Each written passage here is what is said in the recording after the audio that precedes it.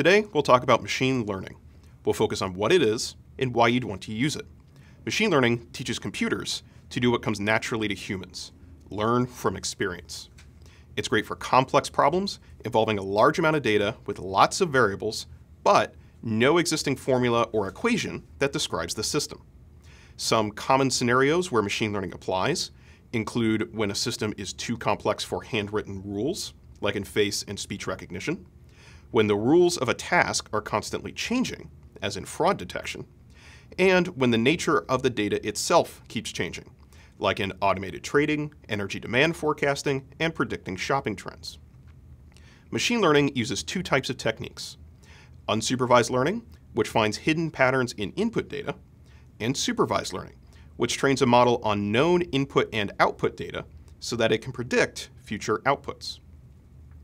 Unsupervised learning draws inferences from datasets that don't have labeled responses associated with the input data.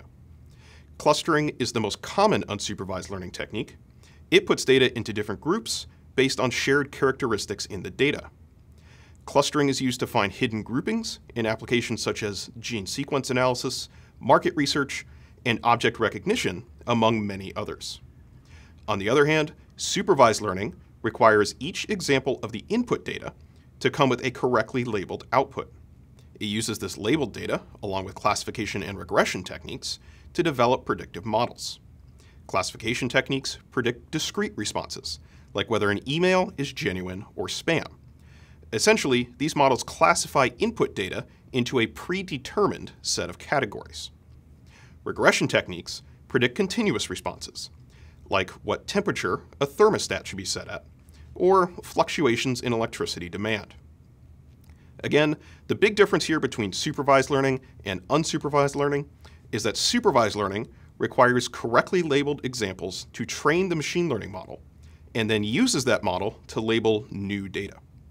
Keep in mind, the techniques you use and the algorithms you select depend on the size and type of data you're working with, the insights you want to get from the data, and how those insights will be used. We'll talk more about these techniques in the next few videos. For now, that was a very brief overview of machine learning. Be sure to check out the description for more information.